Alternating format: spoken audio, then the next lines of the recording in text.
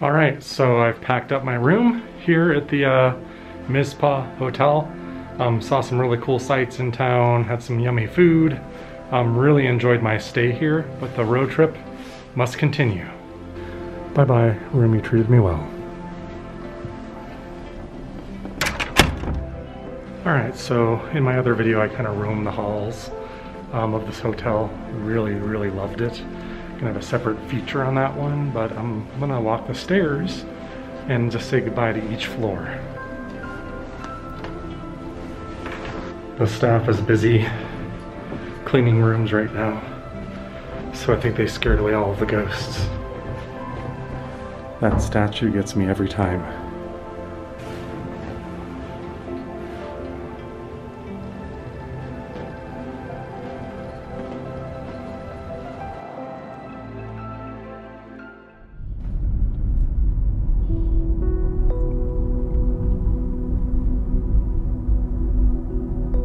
Right, so exiting Tonopah. Uh, just took a couple minutes and now all signs of civilization um, are gone. it just takes that long. Look at all the snow on that landscape still. Wow, I, I believe my prediction is we're heading back down into a valley and once we get on the other side of these hills here, if I recall, you're not gonna see snow. It's gonna be all just brown again.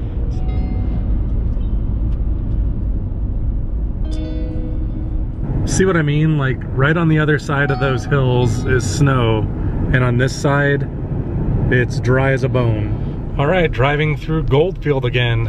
I have to pass back through it to get to where I'm going. Um, visitor center is still closed and it looks just as desolate as it did yesterday. Nobody here. There's the uh, Goldfield Hotel.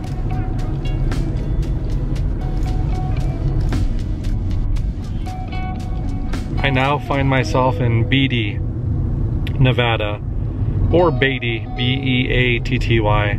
I've heard it pronounced Beatty, so I'm just trying to be a local. I don't know what's the right thing though. Some beautiful fall color here from the uh, car. Haven't really gotten to see much of that this year, so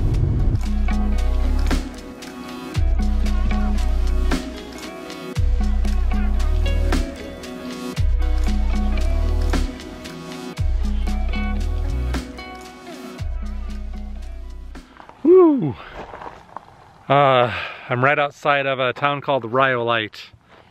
Um, miles outside of Death Valley. There she is, the old town of Rhyolite. You can already see uh, a lot of the remains of the buildings from over here. I might have to let you down. If you're really excited about seeing that ghost town, I'm gonna do a separate feature on that. That's gonna be its own video. There's one other stop that we're gonna make here uh, as part of this road trip video, something that has looked really interesting to me for a long time. Let me show you what that is. All right, so this particular stop that I'm at now is known as the Goldwell Open Air Museum. This is random free uh, dirt parking lot with some interesting sculptures right next to the ghost town of Rhyolite. So is that what you guys see? A penguin with a miner? And do any of you find that to be kind of a humorous thought? Over here are the remains of an old wagon.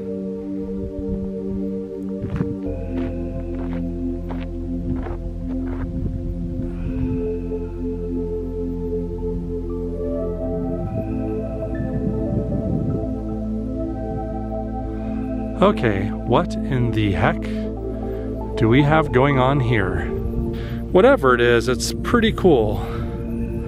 You know, there's a couple suggestive things about that.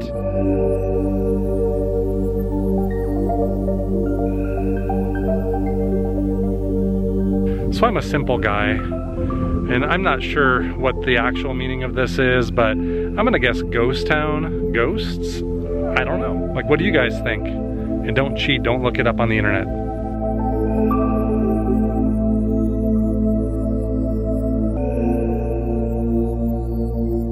All right, mission accomplished. Wanted to see these guys for quite a while and finally did.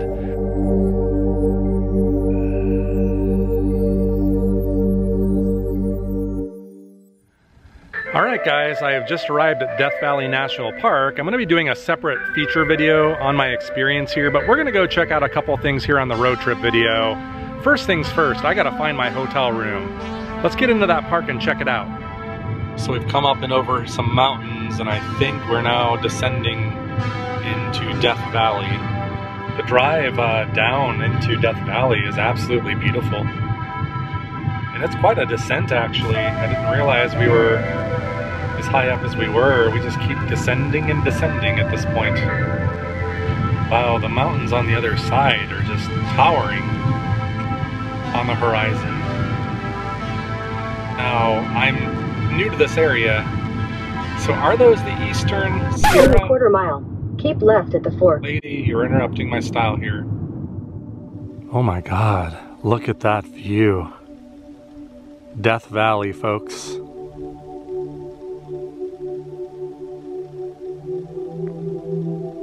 Wow, that view. That is amazing. I had no idea it was this beautiful out here, to be honest. Oh man, I could just sit out here and enjoy that view for hours. But I gotta go, I got places to be.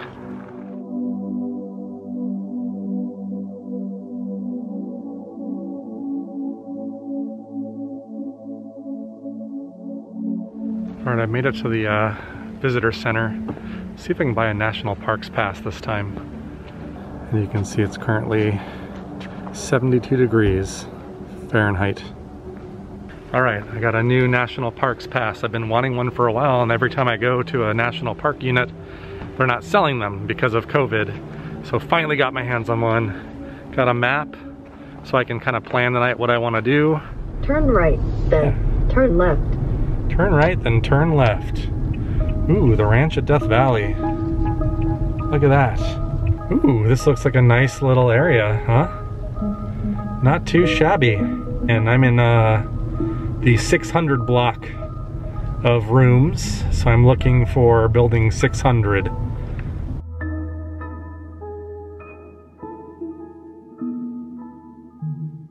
So this is where I'm staying.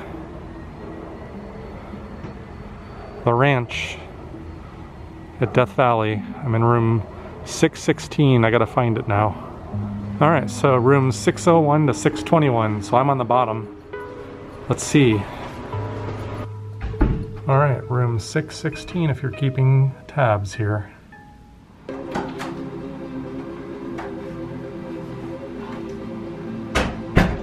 Let's take a quick peek here at room 616. I ended up getting a room with two queens. They didn't have any more with the king size beds, but that'll do just fine. All right, the uh, the bed and the mattress. Um, yeah, I mean, not bad at all. Um, a little springy, I would say, but uh, I've had much worse. One thing that I noticed is uh, I do like the headboards, um, kind of modern looking, minimalistic, but a very barren room. Um, maybe they were going for the uh, minimalist look, I don't know, but there's really not much uh, adorning the walls here. Although across the room here they do have at least two pictures and those are really nice, those are pretty. I'm assuming that's Death Valley. I've already made a mess of things here and settled in, but you can see across from the bed, you've got like a simple flat screen TV. There's a mini fridge. Didn't feel like it was turned on though. I do like this little desk here though, or this, uh, whatever you want to call it. Part entertainment center, part dresser for your clothes, part desk. The carpet seems very dated. Um, if you look really closely, you see minor stainage. And here's the sink, it's standalone. The thing that it's sitting on looks like it's uh, just there for utility. Looks like it's had its use. Now one thing I do like, I do like these uh, push lotions and body wash here. This whole area leading up to the restroom is tiled. Looks like it's been updated in somewhat recent times, I would guess, this part of it. Housekeeping here is on top of things. Everything's really clean. Have not noticed anything off in that area. Here's the bathtub. Actually, very clean also. Very impressive. And you've got these uh, push soaps, shampoos, body wash, conditioner, all on here. So internet around these parts, they do have internet. They actually do have a Wi-Fi here also that you can connect to. Um, but as for my cell phone, I was just trying to use my phone to surf the net. And it looks like right now I've got a full 3G signal. So it's workable, but a little slow. They do have a general store here also open till 8 p.m. And I think I'm gonna have a really long day tomorrow um, in my car traveling this park. It is expansive. So I might go to the general store and buy some snacks, some drinks, um, and just be prepared for the morning. All right, I'm going on a night mission now. Um, it's kind of weird. This camera actually works out here in the dark. Some areas you have to walk through are pretty dark. Probably should have brought a flashlight.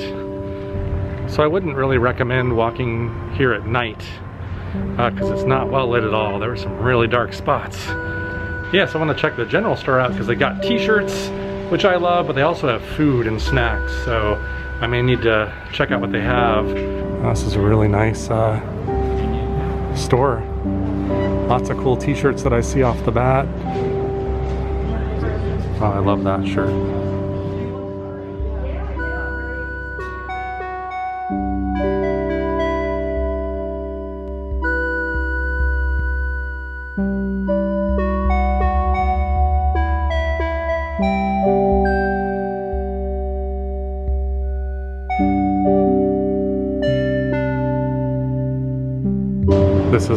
Grocery store they have here. They've got ice, they even got liquor, wine.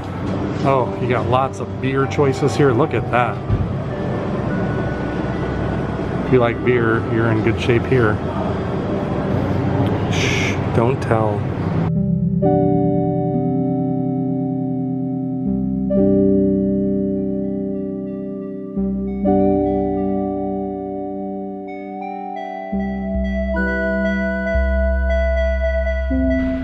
Can see that uh, store has got you covered, especially for the grocery store portion or the convenience store. If you're camping at nearby Furnace Creek Campground, they've got everything you need in there. Ice, firewood, snacks, even ice cream. I survived the night, slept really well. Um, I'm in dire need of coffee though before I get the day started here. So I'm gonna take a quick stroll now that it's daylight back to the uh, area where all the restaurants and general store is and see if I can procure myself a cup. This is the back side of the building I'm staying in. In fact, one of those is my room. I'm not quite sure which one. I'm further down that way. Ah, so this is the trail that I've been looking for. I couldn't see it last night because it's not lit back here. Here's another view of the uh, ranch.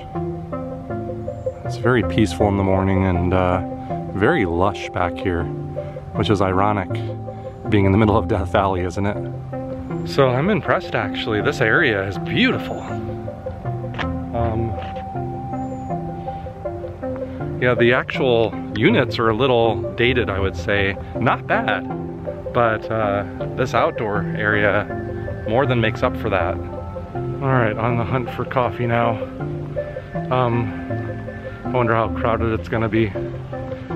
It's prime coffee time here. All right, so I found the coffee, this little tiny cup. Um, I wasn't sure where to go, so I went into the uh, saloon where I'm gonna be dining one of these nights um, to ask directions to where the cafe was. Well, apparently, if you're a guest here, you get free coffee. So I said, cool. But you get this little dinky cup probably in retrospect should have bought a large. Located really near my room here at the ranch at uh, Death Valley. It's this really amazing display of um, old Old West buggies, trains, uh, steam powered things. It's amazing. It's really well done. I'm assuming this is some kind of contraption that a mule or something would turn. I could be wrong, but I, I, I wonder if they hook them up to that and kind of walk them around in a circle to operate whatever this thing is. You can note that they actually have numbered signs on some of this stuff. Um, and I'm assuming that's so they give you some kind of literature to match things up and learn about these pieces of equipment.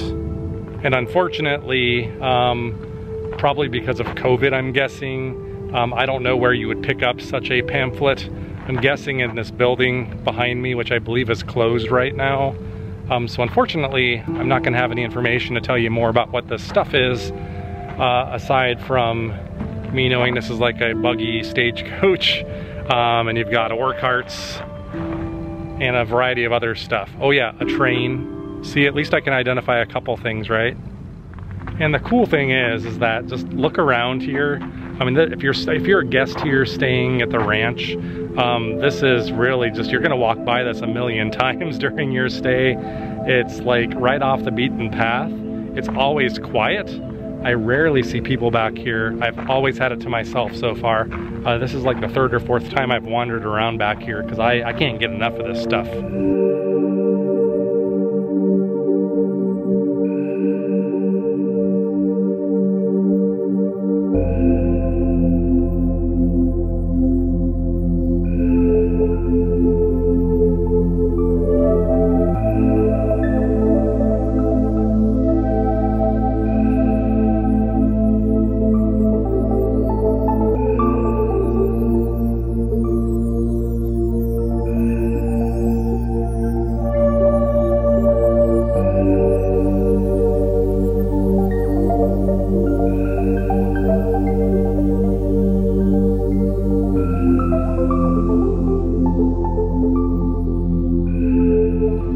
Sure don't make them like that anymore, do they?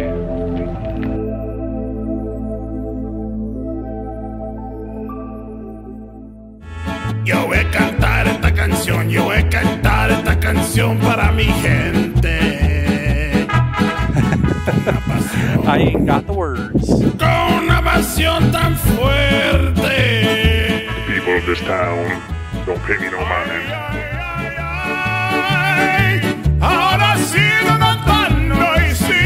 Sando. You see them now?